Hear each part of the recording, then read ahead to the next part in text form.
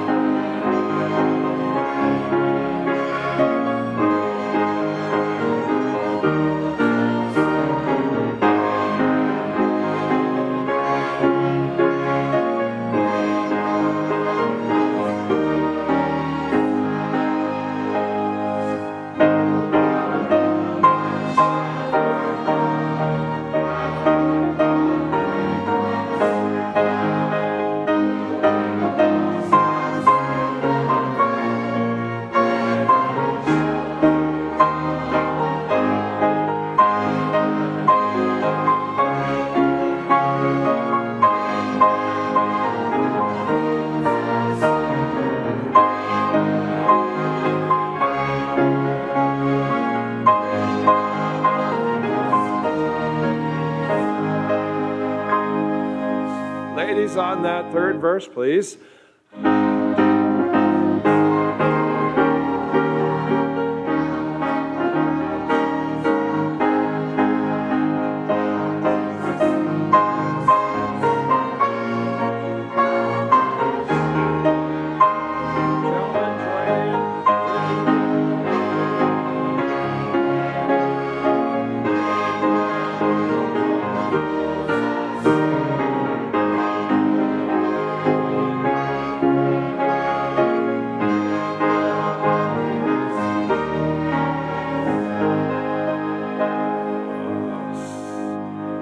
Please be seated.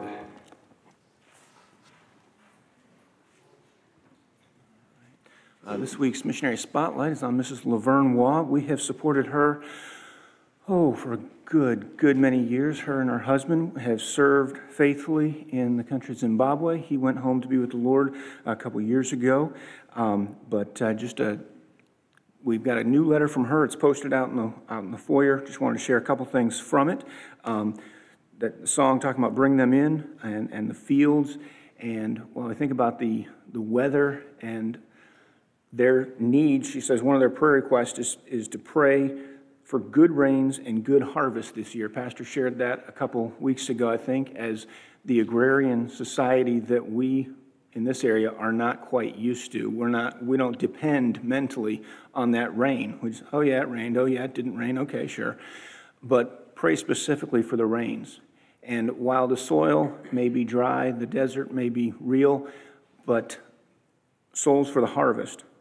She says the people of Zimbabwe are very open to the gospel, and we have folks in many different areas asking for pastors to come and plant churches for them in their areas. So they are faced with the delightful challenge of spreading themselves over new areas to meet the needs and get new works planted and grounded in the scriptures. So, starting new works, but also growing those new works and seeing them established firmly in the truth of the gospel which brings us to the Bible school that has been started over there. We praise the Lord that there's been 30 men who have felt the Lord's call in their lives to preach. They have now completed their first year's training in the Stuart Waugh Pastors Training School, and they have two more years to go. And then those men can be sent out to either start new works or to help assist in other established works or growing works. But also, she mentions the economy in Zimbabwe. If you know anything about the, the list of countries in the world, Zimbabwe is dreadfully low on the list. So be praying for the supply for her and the people there, and just the fact that they live day to day um, in in in every way. Um, many of you probably know that uh, Russ and Phyllis Dethridge were able to take a trip last month, and as part of that trip, they were able to visit Mrs. Waugh and Russ was able to send a video. I'm going to ask Dave to show that in just a few seconds, but um, I wanted to share a couple lines from a letter that Russ sent, and he said, so I'll just quote from Russ. First, let me say that our time with Sister Laverne was the highlight of their trip. And if you're on Facebook and you saw some of the pictures and saw some of the things that a once-in-a-lifetime trip would include, that's the highlight. He says, the time spent with her, the fellowship was sweet and was a great encouragement. Um, they had a great time with the group they were with. They were able to share and, and learn more about the work. Um, he describes some of the difficulties that, that have been going on, and she says that, he says in classic Laverne fashion, she says, It's all right. I can get by. I can tighten my belt a little, and I'll be just fine. Knowing that God will continue to provide for her. God will take care of her needs. God will take care of the needs of the people that she's ministering with and to.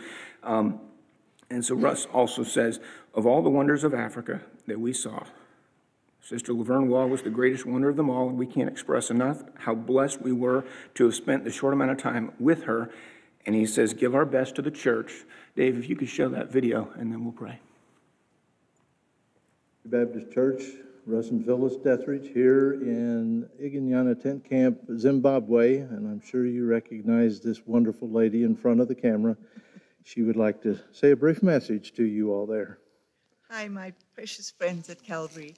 I have just had such a wonderful time with these two precious people.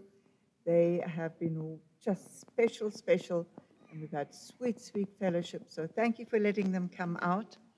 And I do want to thank you also for all you mean to me and to our ministry here and have been over the years. I was just telling them that the time when Simon died, all those many years ago, nearly 30 years ago now, and uh, Stuart and I were so broken. He died suddenly, as some of you will remember. And when we went to the States shortly after um, his death, the first church we visited was you.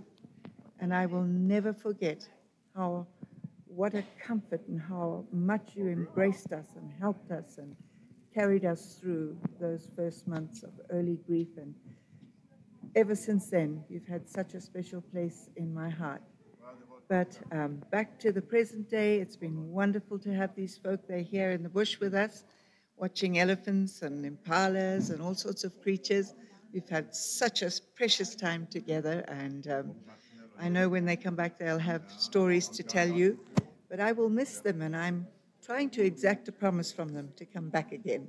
So, but lots and lots of love to you all, and my grateful thanks. And I do pray for you, and I know you pray for me and for the ministry here, and I thank you deeply. God bless you all. Good night from beautiful Zimbabwe, Africa. I, I think that video is about one week old, so it's pretty fresh. Um, in a few minutes, we'll have an update from Brother Pat Delaney. I just wanted to point out that he's going to give us an update, but uh, he'll share with us from a trip that he took earlier in the fall, and hopefully we'll see more missionary faces, missionary realities, what his ministry to them is and what some of their ministries are as well. But we'll also have an update next Sunday evening. The plan is for uh, Brother Steve Anderson to give us an update as well. So we're looking forward to both of those. And uh, just remember, remember Brother Steve in your prayers for his continued recovery. Let's pray tonight. Dear Lord, we thank you for the opportunity we have uh, to partner with Mrs. Waugh and uh, Stuart over so many years of faithful ministry. Lord, thank you for uh, their lives of service, uh, the, the dedication to you and your word and your churches, Lord, that as the gospel goes forth, we can see them established. Lord, we ask that you'd provide and provide protection, but also provision.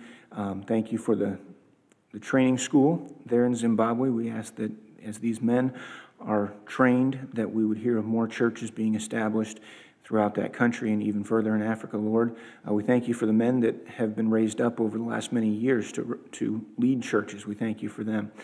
Lord, we ask that you would uh, be with Brother Steve Anderson as he continues to heal. Just give him strength. Lord, help us to remember our missionaries and remember the works that you have established and that you have allowed them to be involved in and allowed us to partner with. Lord, we thank you for the opportunity to serve you. In Jesus' name, amen. All right, welcome this evening here, and it's good to start off with uh, just a reminder, some of our missionaries and the opportunity that we have uh, to be able to see their work uh, all around the world and to be connected. I'm glad that we've got modern technology where, like, um, even sometimes it may not work exactly like we like it to, but we can be able to be connected, and they can see us, and we can see them at times, and um, uh, and, and connect us from around the world as we hold their hands. A, a couple um, cards I want to read. Thank you so much, uh, dear Pastor Amber and Calvary Baptist Church, for the gift basket from uh, Harry and Dave's, David's. Uh, we are also thankful for you, your faithfulness and prayers, cards, and phone calls. God is so good in his love, Steve and Martha, 1 Samuel 12, 24.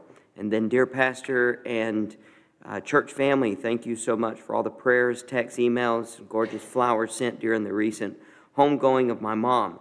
It is a huge encouragement to have the support and love of so many during this difficult time. Our family is so blessed to be a part of a loving church. Sincerely, Sharon, Kobe, yeah, and Adelaide Watson. And so these are some thank you cards from them. Also, want to mention some opportunities that we have uh, that are coming up here. Uh, Easter is at the end of this month. And so, what we would like to do is we'd like to take uh, three Saturdays in March, and we have some door hangers. You saw the picture in the announcement there on the, on the board at the beginning of the service. And we're going to take a couple neighborhoods uh, down on 53 here, the Burwell neighborhood, and at the end of Indian Creek here. And we're going to take those on Saturdays between 10 and 12 over the next uh, couple Saturdays. If you want to meet here at the church and grab a few of those and, um, and uh, go with a group, uh, we'd like to do that over the next few weeks and give us an opportunity. Also, we have one of these baskets that we've, uh, we've put. Several people have put these together for us. There's just some goodies, uh, water, a couple water bottles, and some um, uh, snacks that are in here. We have them on a table in the lob, in the, um, in the library, and each one of them has a sticky note on it with, a, with the street name. Uh, I can't remember what the street is specifically. It's Tor- Tormore or something like that. Terramore. Terramore is the first road that we're going to hit there. It's the closest to the, um, the homes that, are, that have been built there. And then there is a, a house number on that.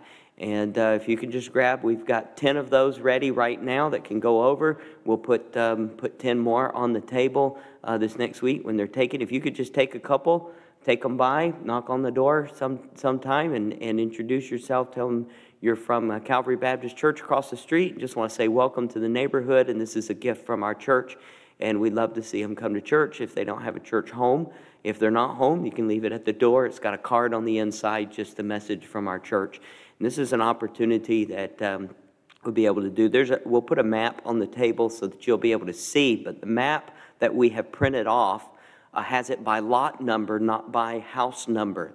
The lots, as they've sold, and uh, is not actually the number that is on the house. So we went over there, wrote the numbers on the house. So the map shows you kind of where it is, but you kind of have to just um, see where, and it may not show up on uh, MapQuest either just right yet because some of these people just moved in in the last four weeks or so. So I'd like for you to take that opportunity and you pray about it and um, give some opportunity this spring for us to be involved in that way. Tuesday night, we have a service, not Wednesday night. Appalachian Bible College is going to be here for a service at 7 o'clock and uh, the Calvary Baptist Academy senior fundraiser meal 5.30 to 6.15 in the gym. If you'd like to participate in that, you can come from work, come to eat. Uh, the tickets uh, are, are there. And so just to remind you about that. Daylight savings time this weekend. So Saturday we'll be changing our, uh, we lose an hour, I believe, uh, this weekend. And so um, uh, make sure you, you remind yourself about that, put it in there. On March 10th, uh, the gyms have a luncheon uh, after the AM service. There's a sign up on the bulletin board. If you could sign up today if you're interested in that so they can have uh, preparation for that. Uh, there's, I believe it's a barbecue meal. And uh, so March 10th, and um, the gyms have a luncheon after the AM service. Remind you about that. And in March 14th, that's a couple weeks away. It's a Thursday night. We have a couples bowling activity at the Stars and Strikes. We've rented the section on the back portion of um, Stars and Strikes is $25. Uh, 7 o'clock over there at 6.30. You can bring your kids here to the church for babysitting. There's a sign up on the bulletin board so that we can prepare uh, for that as well. March 17th, that's uh, be the Sunday night after that, a few Sundays away, uh, is our first hospitality night for the year. And uh, we've contacted all the hosts, and the hosts should be contacting each one. We'll have um, uh, the list up on the bulletin board next Sunday. And uh, um, so, host, if you know, um, would you make sure that you contact those who are on your list? And if you'd like to participate and you're not on the list, you've not been called, or, um, or maybe when we post the names up and, and you like to participate for that evening, uh, we've got a couple locations that we can put you in if you'll just see some of the ladies in the office or my wife or myself about that. All right, those are a few of the announcements that are kind of going on. And uh, we're going to sing a couple songs back to back, just focusing our attention upon giving our life to the Lord and being faithful. And so, this first song, I want to be faithful, and the next one is Take My Life and Let It Be, as a prayer tonight, both in, um, in what we're going to hear and what we've already heard with Miss, Mrs. Waugh. Let's go ahead and stand if you would, please. Uh, We'll sing both of these uh, back to back and uh, trust that uh, we realize we're speaking to uh, one another in psalms and hymns and spiritual songs, singing with uh, grace in our hearts to the Lord. So uh, we're doing what the New Testament early church did. Let's uh, look forward to enjoying that as we sing in these days.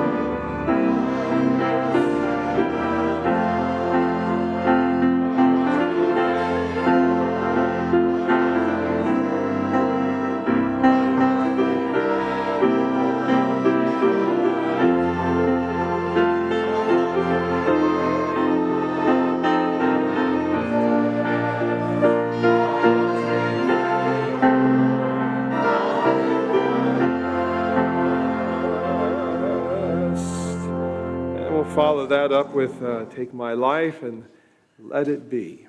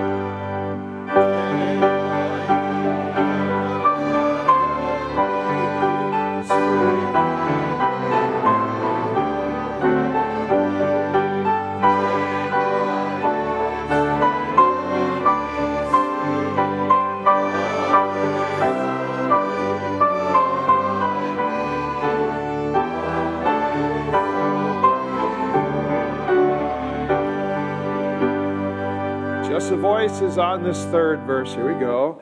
Take my lips and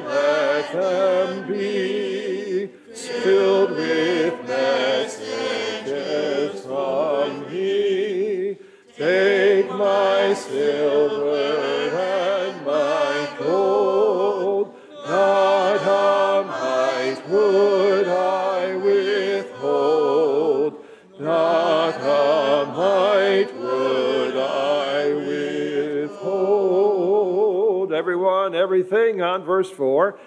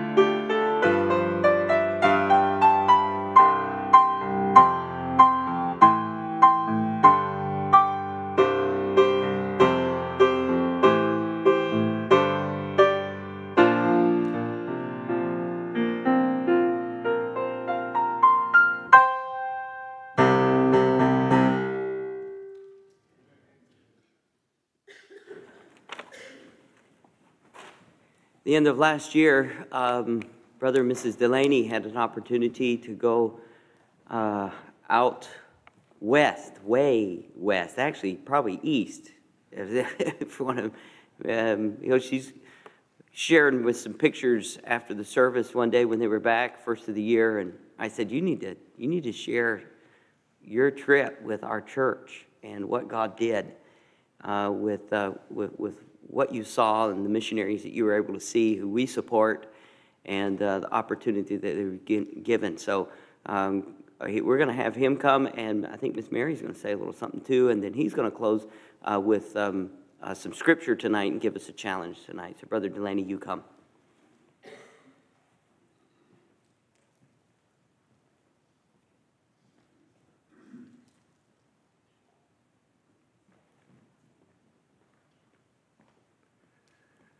Well, good evening, and thank you, Pastor Cochran, for uh, this opportunity. I appreciate you availing your pulpit to both Mary and me. Thank you, Brother David, for approaching us uh, a month or so back and uh, making all these arrangements. We're very, very grateful to stand up here and share with you uh, really a report on what, what faithful servants of the Lord Jesus for Baptist World Mission are busy doing in their part of God's vineyard. But um, we'll get right into the presentation here. On November 7th, Mary and I embarked upon a four week field visit that took us to three different countries to visit three different missionary families. Those countries you see on the screen the Solomon Islands, Papua New Guinea, and the Philippines.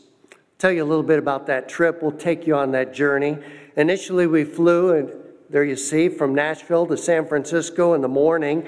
And then late that evening, we departed San Francisco and flew through the night 15 hours to Manila in the Philippines.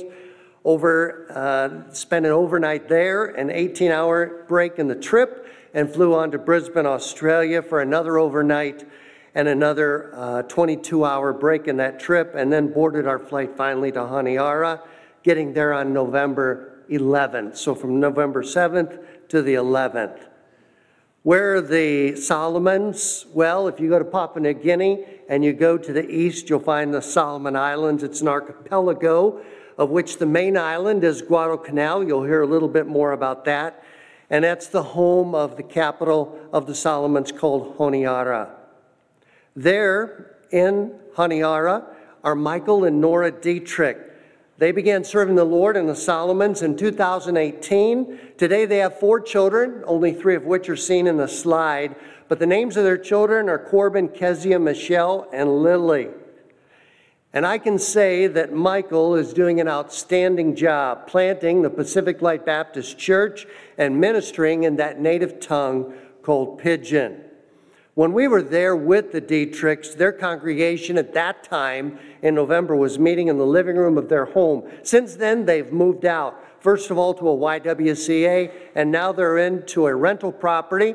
And this past week, I approved a $12,000 special project to renovate that rental property. But here you can see half of that morning congregation. And since our visit, uh, they are well on their way in this precious church plant. Joseph, is their song leader, and he's a godly influence. He's a taxi driver and a member of their church. Oh, how we love listening to the singing of their precious congregation. Let's tune in if we can.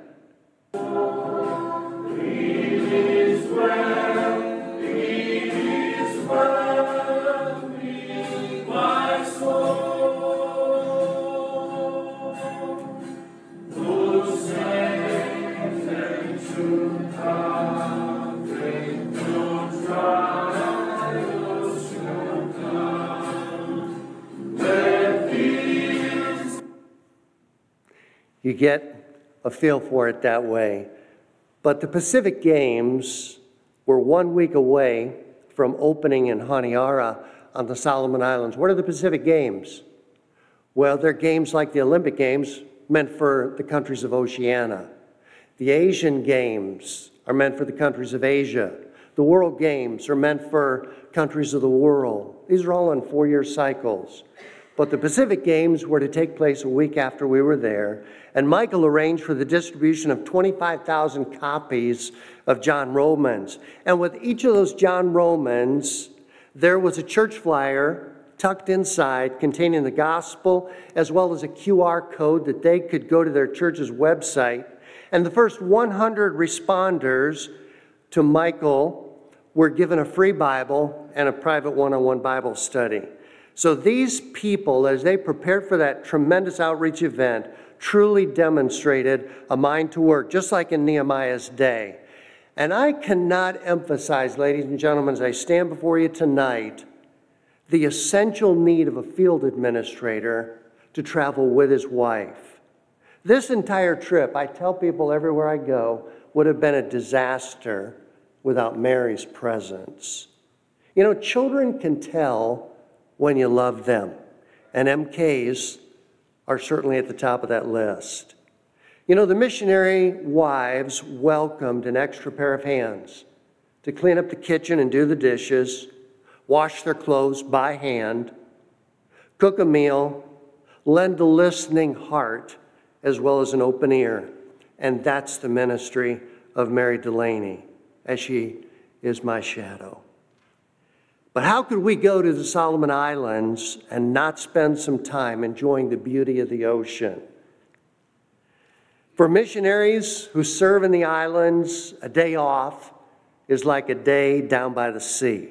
Nothing rejuvenates a soul more than some sand and surf and lots of sunshine. And by the way, it's a great way to wear out small children as well.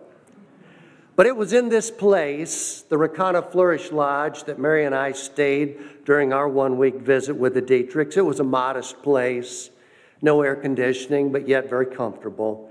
It took my wife and I back to our roots when we first got to Asia some 35 plus years ago, and we felt right at home. This is Red Beach in the next slide. On August 7, 1942, the 1st Marine Division began landing on this very shore. Together with the landing at Blue Beach in Tulagi, 25 miles opposite this spot, this signaled the first American offensive during World War II. The first step on that long road to Tokyo took place right here. On February 9, 1945, the Japanese finally evacuated Guadalcanal after losing 21,000 soldiers, sailors, and airmen in that struggle. The U.S. lost 7,000 men acquiring that great victory. Here's a monument to the Battle of Bloody Ridge. If in the hard fought fight the ridge had fallen, Henderson Field and Fighter One airstrip would have been lost, and with them, Guadalcanal. But after six fine days spent in the Solomons, it was time to move on in our journey. The next step was Papua New Guinea. It was in the Eastern Highlands province where Mary and I returned after our first visit seven years before. To get there is a tremendous challenge. Initially, you fly into the city of Port Moresby, the capital on the southern coastline, and from there you take a domestic flight up into the Eastern Highlands province, city of Goroka. Thanks for pointing that out. You folks are tremendous back there. But from there, you take a challenging three hour overland off road journey on some of the most rugged roads, rutted out, you've ever been on in your life. This is the home that Ben built in the next slide. In 2012, Ben Childs built this two story home with his bare hands. He literally cut a 200 year old eucalyptus tree by himself, milled the lumber with a portable mill, ran the plumbing from a nearby mountain stream, and we've been to the source, and set up the electricity with those solar panels you see on the top of his roof. Ben Childs is a modern day Renaissance man. He's the most brilliant missionary I've ever had the privilege of knowing. Just like the church, just like the home, Ben built the church with his own hands. They've been using this building for the past seven years. It's called Gutnius Baptist Sios. That's pidgin for Good News Baptist Church.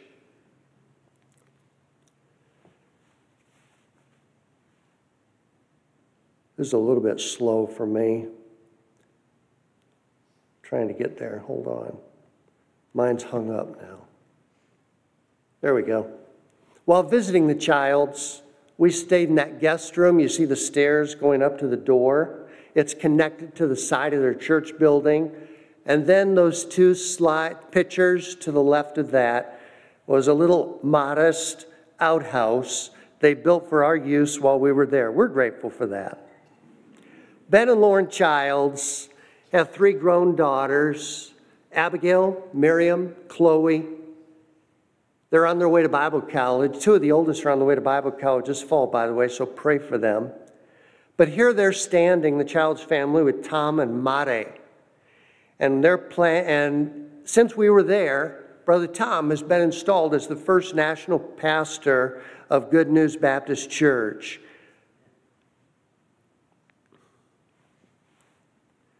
As you look around the Childs' compound, you'll find the cookhouse, that's that thatched roof building at the top, a gazebo to the right where villagers come to get medicine whenever needed, and outdoor Bible studies are conducted. Bottom left is where their Sunday school takes place, and on the bottom right is a sports ground. There you see volleyball, but they also have a place for basketball.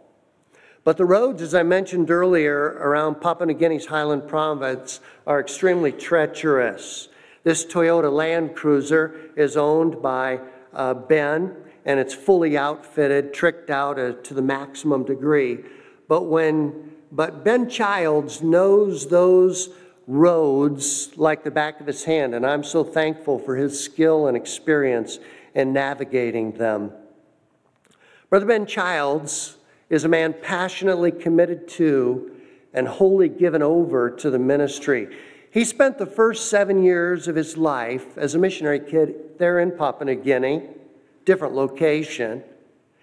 At the age of seven, his parents left Papua New Guinea and went to Perth, Australia. We're going back 40 years ago now because of health related issues. So Ben spent his later youth and teenage years in Perth, Australia, and then went to Ambassador Baptist College, got married, graduated, and went back to his childhood home of Papua New Guinea as a God called church planter. Here you see a sample of the teaching materials that Ben has translated in order to disciple his people. Church planting, ladies and gentlemen, involves training nationals to take leadership inside that local church. Here's Brother Tom, the national pastor who Ben has been training over the past 13 years. And whether it's preaching, like in that open air market at 8 a.m. on Monday mornings, or from the pulpit of Good News Baptist Church, Brother Tom passionately desires to serve his Savior. One day, Mary and I trekked up the mountainside to visit various church members in their home area inside the village. Now, Ben's church in Titikave Village sets at 4,500 feet elevation. We trekked another 500 feet up to reach these homes that you see in the pictures here. It is paradise, believe me. We had the joy of visiting the home of Brother Tom and Mare. Just like Ben, Ben trained Tom, and Tom built this home with his own hands. They had three children. Their little boy Charlie died a year ago. He's buried beneath this home. Five years ago, or excuse me, five times a year, the Childs dedicate an entire day from 8 in the morning to 10 at night butchering chickens. We butchered 25 on this day. Chickens are the primary form of meat for the Childs' family, and at the end of the day, the church members are entitled to a good meal for helping them with this big project. Ben and Lauren asked that we would extend our stay to be with them and celebrate Thanksgiving there in Papua New Guinea. It was a traditional Thanksgiving feast, just as you see in the pictures, but with chicken. Our next stop was Naga, Philippines, where we stayed the next week with veteran missionaries Kevin and Mary Bruner. They've more recently moved into that newer home that you see to the right. For nearly 25 years, Kevin and Mary have lived in the town of Naga or Pili, two little towns side by side, located in the southeast of or southeast of Manila, and it's one hour domestic flight from Manila to Naga in the province of Camarines Sur. This is part of the Bicol region there in the Philippines. For the past 20 years, Kevin has been the missionary pastor of Calvary Baptist Church, you see on the slide, in the town of Pili. And this is the ministry that was started over 30 years ago by veteran retired missionary Jim Spears. Now they're getting ready to have their first national pastor, Kevin is preparing Richard, as you see in the slide, to become that pastor. I had the joy with Kevin of visiting Richard in his home, just a thatch roofed little house out in a rice paddy field with a dirt floor. Kevin and Mary give significant amount of time to teaching values education in a village elementary school in a little town called Pag-asa. And it's in this little village that the Bruners intend to plant their next church, which will be their second church plant in their 25 years in the Philippines. You know, reaching people, ladies and gentlemen, involves going out into the countryside, the highways and byways, where people are living, confronting them lovingly with their need of a relationship with Jesus Christ. And I can honestly say there are none better at doing that than Kevin and Mary Bruner. You'll never find another missionary couple more wholly given over to the ministry than the Bruners for as long as I've known them. Kevin and Mary have maintained an incredibly demanding schedule. They will drive you into the ground.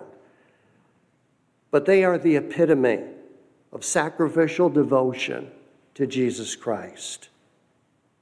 So there you have it.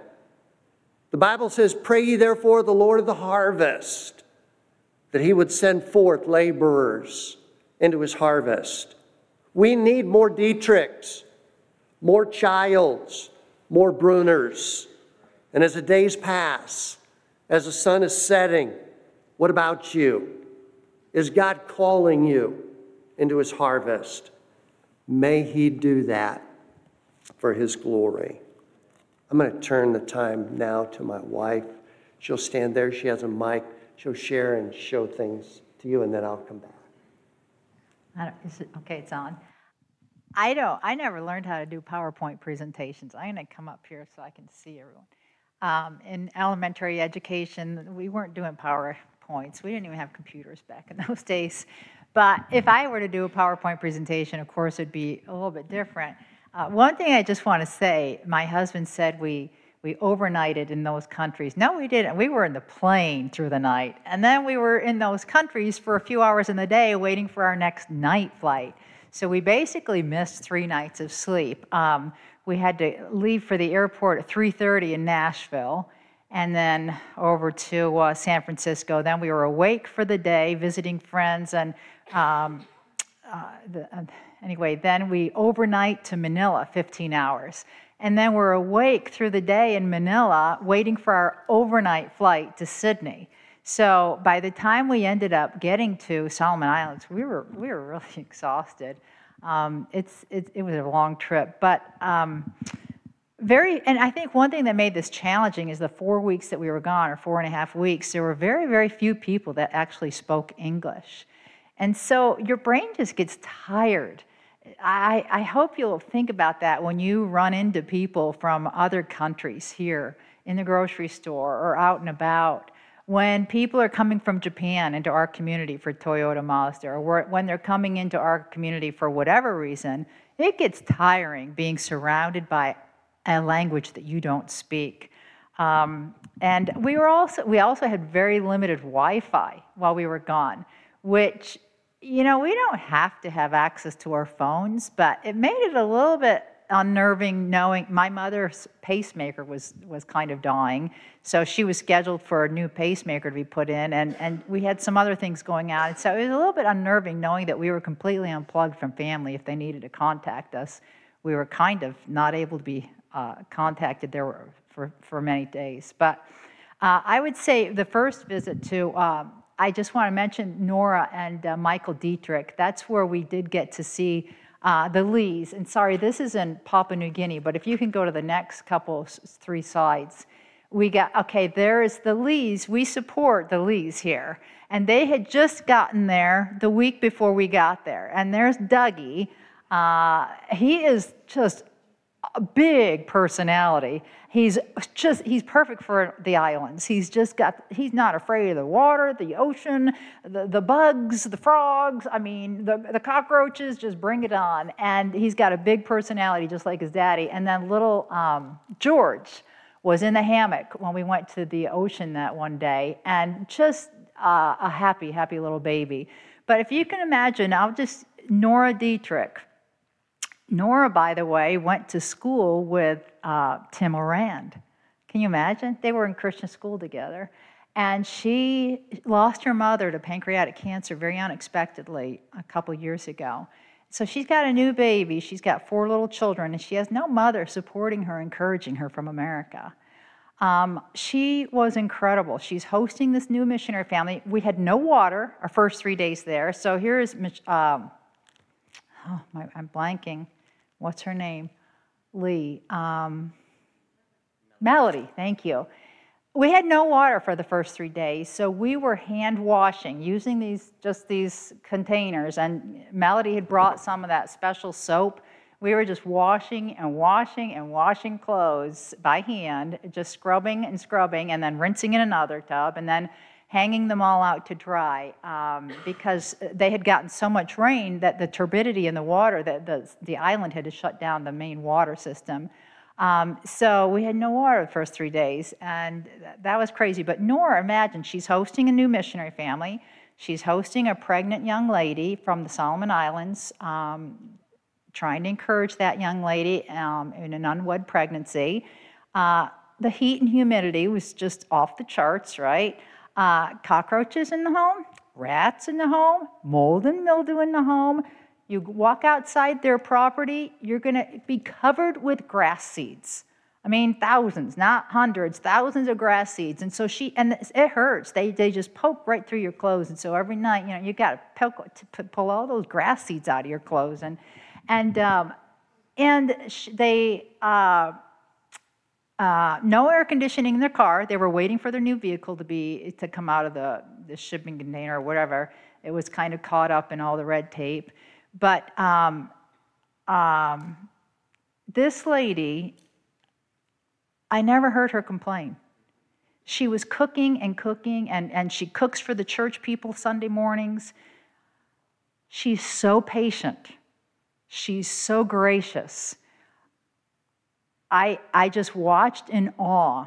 I never saw her blow up or lose her temper with, and she's got a little nursing baby. I mean, uh, Nora, I mean, they're just a wonderful family. And Michael Dietrich, by the way, it was his brother that candidated for our church before um, Pastor Cochran came. Um, just a wonderful couple, and they were such an encouragement to us. And by the way, that little trip to the ocean, the Solomon Islands is absolutely stunning with its beauty, but there's piles of garbage everywhere. There, there, um, there's a lot of poverty. And so you go to the ocean and you see the dolphins just jumping in the water. And you think, this is so beautiful. But it's not, I mean, you've also got piles of garbage all over the place. So that was a little bit sad, but the people were just absolutely wonderful, very, very precious. And then when we went to Papua New Guinea, if you back up um, back to those other, that first slide, when we got to Goroka, there was a mission compound there, and we ran into the Perkins. So the Perkins are living there temporarily while Josh is out in the bush in the highlands building the home for the family his wife and children are homeschooling, and, and they're situated in Goroka in the mission compound for New Tribes Mission. So we met them as soon as we got there, and they are the sweetest kids. Very personable. They acted like we were their long lost relatives just because we said we knew Roger and Sharon Crowder. Oh, that's our grandparents. You know them. They were they were just the sweetest, sweetest kids. Uh, but the Childs, um, he talks that outhouse. They had just dug that hole for us before we got there. And they had these wood studs up around it. And they said, okay, that's, that's your restroom while you're here. And it's like, but there's no walls or nothing around. He says, oh, it's in the jungle. No one's going to see a thing. And true enough, there is no electricity out there in the, in the highlands. They have no washing machines and dryers. They have no refrigerators. They have no microwaves. They have no stoves or, or ovens. Uh, they have no watches. They have no clocks. They have, so it's, it's pitch dark. When the sun goes down, it is pitch dark.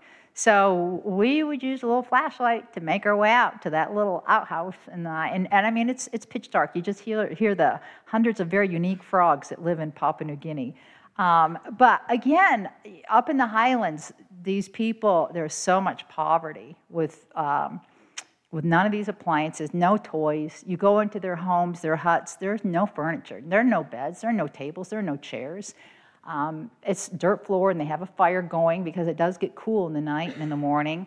Uh, no bikes. It's just, but, and anything you want to eat, you garden. Anything you want to eat, you grow. So that day when we butchered chickens, those people don't have meat. Uh, so this was a special treat for them. They might have meat once every two months, a little bit of meat but they eat kaukau. They eat, and you can go out into, into your garden and you can pick avocado anytime. You can pick mangoes. You can pick you can pick uh, passion fruit and tomato fruit and bananas. So you've got that steady uh, fruit, all you can all you can eat fruit, and you've got vegetables. Well, they're sweet potatoes and they're greens. They eat a lot of greens. Um, but if you can't grow it, you're not going to eat it. Uh, and what if they need cash? They go and pan a little bit of gold from the river, or they sell some cocoa or some coffee beans, or they um, sell some of their New Guinea gold. And you can guess what that is. That grows in their gardens too. Uh, but amazing, amazing people who are there at the church compounds four times a week. Tuesdays and Saturdays is a cleaning day for the compound in Papua New Guinea. They come down from the, from the mountaintops and help to clean the whole compound, trim and beautiful flowers all over. It's like a botanic garden. Um, Wednesday, or well, Sunday, of course, is church, and they just ring this big, huge cylinder to help because they don't have watches. So they ring the cylinder, this like a gas cylinder, is that what you call it? It's metal, and it, they can hear it up in the way up in the villages, up in the highlands. And they just come down, start making their way down. And then uh, Wednesday, they're there at 8 o'clock in the morning for a Bible study, because after that, they go up to their gardens. Uh, Thursday, they come down in the afternoon for like a, a, like a Bible Institute Bible study. Saturday, they're there for a cleaning day. Can you imagine coming down from the highlands four times a week to church? Four times. They're not distracted with cell phones, with television, with computers, with ball games. They're, they're, they're just at the church so often and just they're so excited to grow and they memorize scripture. They have no distractions and they are just absolutely precious people. Uh, we think you, if you go, you say they're so poor, but in so many ways they're so rich. They are so content. The joy that they have with nothing, like Pastor was talking about preaching this morning they don't know what they're missing. And it was just such a joy to be with them. And then the Bruners, again, first day there, we had no power. And the, the poverty that they're working with, um, the uh, walking through the rice paddies to go to the huts where the people live. They have no furniture. The babies' cradles come down from the roofs of the huts and they just rock them and they just sleep on mats on the floor. Uh, many of these people that we were with had no shoes, even. Um, no, and it was just such a blessing that we were in, you know, we used to be in Taiwan with Luke's family and such a big, huge city with millions of people, and then Singapore, millions of people. But these places were very rural, and uh, the poverty was incredible. But the joy of the believers the commitment to the local church, the commitment to Bible memory, to the commitment to coming together to pray, it was unlike, I think, unlike anything I've ever seen in city missions, honestly. And there's just such a contentment, a sweet contentment, even though you think they are so poor, they have so little, but they have such a joy in the Lord. Their wealth is in in, in their position in Christ. And it was just a, a blessing to be with these missionary families. And pray for Colton and Melody. You know, they're situated now in their new island home, and they, they need to learn the language, Melody especially. And um, I think they're going to, I, I mean, I'm, I hope you can get over there, visit them, and encourage them. They, they need encouragement. But um, thank you for your support. It was just a, a very tiring trip and um, very inspirational. We were very, very blessed to see the, uh, the character of these missionaries that we were with. Thank you, honey. Appreciate you sharing. We just have a little bit of time left. I want to invite you to take your Bible and turn with me to Matthew 28. We'll look at that classic New Testament passage just briefly and focus on two words. Matthew 28, verse 18 we read, And Jesus came and spake unto them, saying, All power is given unto me in heaven and in earth. Go ye therefore and teach all nations, baptizing them in the name of the Father, and of the Son, and of the Holy Ghost, teaching them to observe all things whatsoever I have commanded you. And lo, I am with you always, even until the end of the world. Amen. I want to challenge you tonight to make Christ's authority your priority. Make Christ's authority your priority. In the early 1990s, there was a Christian magazine periodical entitled The Evangelical Missions Quarterly, and an author, Arthur Glasser, shared an interview that he had conducted with a man named Donald McGavran before McGavran went to heaven. Don McGavran was a missiologist, a master teacher in missions, culture, considered quote unquote the father of the church growth movement in the 1970s out in Fuller Theological Seminary there in California, thorough new, thoroughgoing new evangelical. But he was a founder of the School of Mission.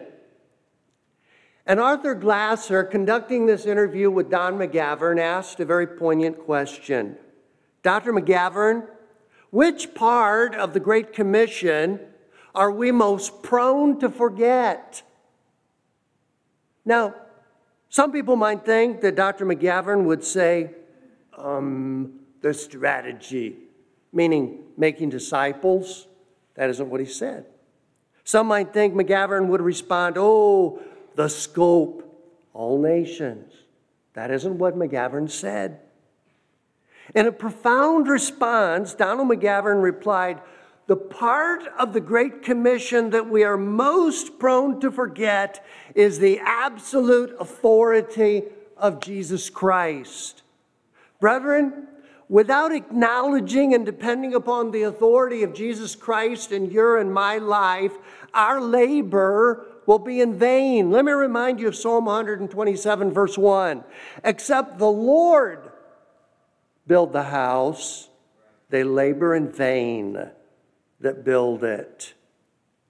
You know, without acknowledging and depending upon the authority of Jesus Christ in our lives, we will lack the spiritual vitality to stay committed during the most difficult times of ministry.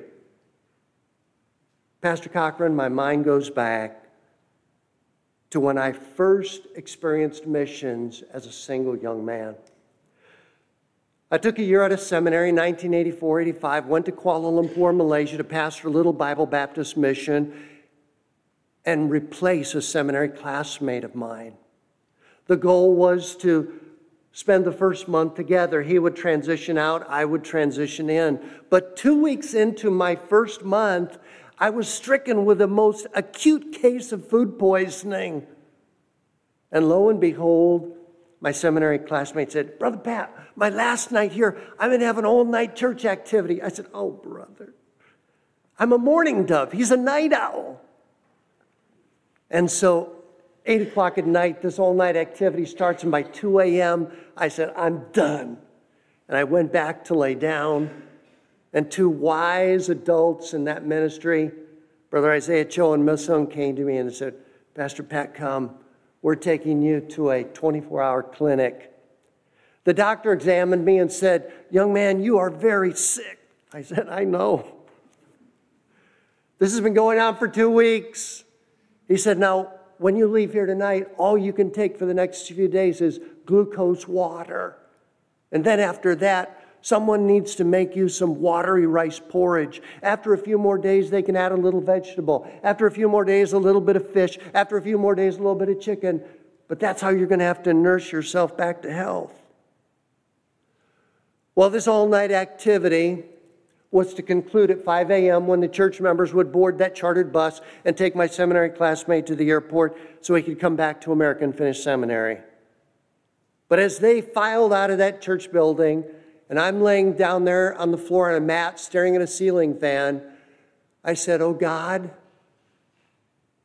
if anything is going to be done over this next year, it's going to be totally by your grace and by your power.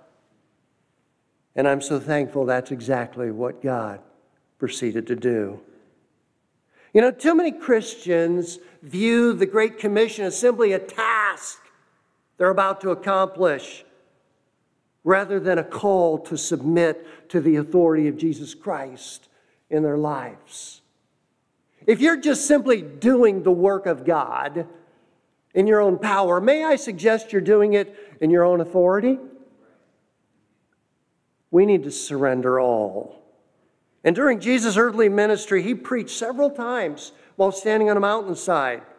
We recall the Sermon on the Mount, the Transfiguration, the Olivet Discourse. And here in Matthew 28, Jesus is standing on a mountain in Galilee, and he shared this last command with his disciples, and they in turn were to share it with their disciples. And at some point in time, someone shared this command with you. And somewhere along the line, this command moved into the realm of an obligation. May I remind you of the words of Hudson Taylor? The Great Commission is not an option to be considered, it's a command to be obeyed. And let's be honest, there are times when the obligation of this command can weigh very heavy upon our hearts. You know, I remember when I was first being trained to be a soul winner in the Fishermen's Club, goes back 40 years now, Fellowship Baptist Church in Marshalltown. We'd be trained for three hours on a Saturday morning, then go door to door three hours one night a week. But the first month, I was simply to be the silent partner. My trainer was to do all the talking. But week two, into my role as a silent partner, we're approaching the front door of this home, and my trainer turns to me and said, Brother Pat, this one's yours. I, I said, What? What? And my knees started shaking, and I was shivering, and I was praying, God, I pray there's no one at home. But when the lady opened the door, and I told her who I was and who we were, and where we were from and what we were doing, she said, Oh, that's wonderful. We belong to such and such a church down the street. And I said, Oh, phew. You know, when Jesus offered the Great Commission to his disciples that day, I want you to notice very quickly where Jesus began. Jesus began by offering his authority in verse 18 with those two words, all power. In the Greek, it's passa exousia, but it denotes executive power. Our president leads our executive branch of government, and when the president first takes over on that inauguration day, he oftentimes executes executive orders that are laws. And Jesus Christ was the disciples' commander in chief. And I want us to ponder his authority very quickly. We need to think about what kind of authority it is. Well, it's consequential in its exclusivity and in its transforming power. This authority is consequential. Jesus said in John 14, 6, I am the way, the truth, and the life. No man cometh unto the Father but by me. That's exclusivity. It's transforming in its power. John 11, 25. Jesus said unto her, I am the resurrection and the life. He that believeth in me, though he were dead, yet shall he live. What kind of authority is it? Consequential. How was this authority manifested? Well, think about that garden experience when Judas Iscariot came with his band to arrest the Messiah. John 18 verses 4 through 6. You listen as I read. John 18, verse 4. Jesus, therefore, knowing all things that should come upon him, went forth and said unto them, Whom seek ye? And they answered him, Jesus of Nazareth. Jesus saith unto them, I am he. And Judas also, which betrayed him, stood with them.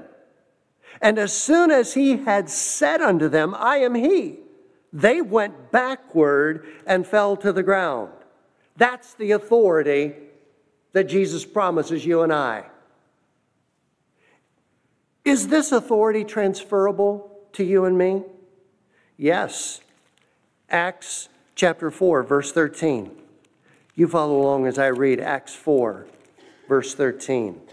The Bible says, Now when they saw the boldness of Peter and John and perceived that they were unlearned and ignorant men, they marveled and they took knowledge of them that they had been with Jesus. So that's the authority. It has a source embedded in the person of Jesus Christ. But the source of the authority has a history of impact. You know, before Jesus tells you and I to do anything for him, he reminds all of us of what he has done for us. The Gospel of Matthew is a study, literally, in the authority of Jesus Christ. Matthew 7, reveals Jesus had the authority to teach. Matthew 8 reveals Jesus had the authority to heal. Matthew 9 reveals Jesus had the authority to forgive sin. You get to Matthew 10, and it reveals Jesus gave this authority to his apostles so that they might have power over the demonic world. Matthew 10 1.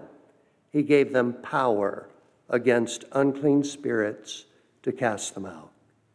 I'll make an application and we're done.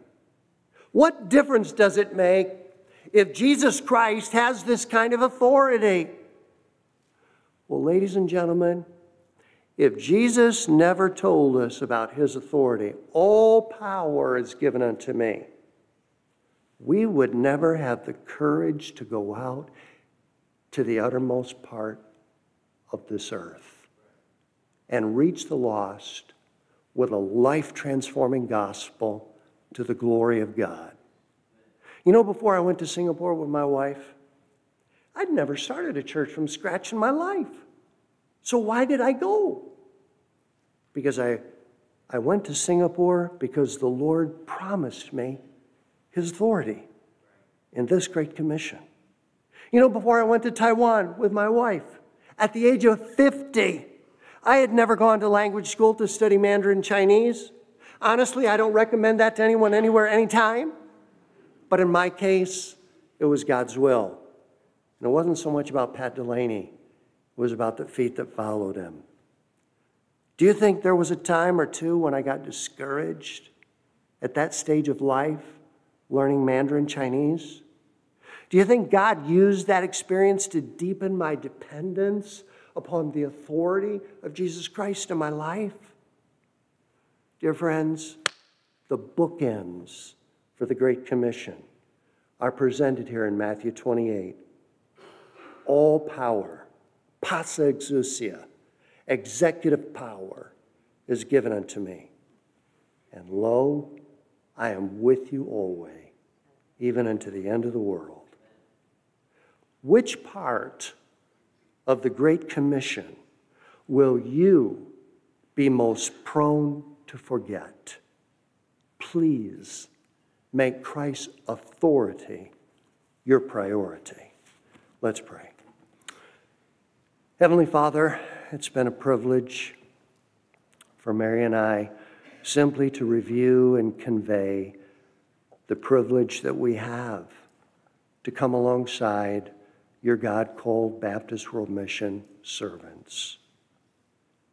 O Lord, may each one that we spoke about tonight, may Mary and I, may everyone who comprises this wonderful body at Calvary make Christ's authority our priority. In Jesus' name, amen. Thank you, Brother Pat and Mary, for sharing your heart with what the Lord has done and uh, for holding the hands up of uh, so many missionaries and the opportunity that we have. We may not be able to go to those places, maybe the Lord could uh, take that, but uh, it's great to be able to see that and to be challenged with what we should do uh, right across the street, around the corner, at work, at school this week. All right, go in the peace of the Lord. God bless you, and have a great week.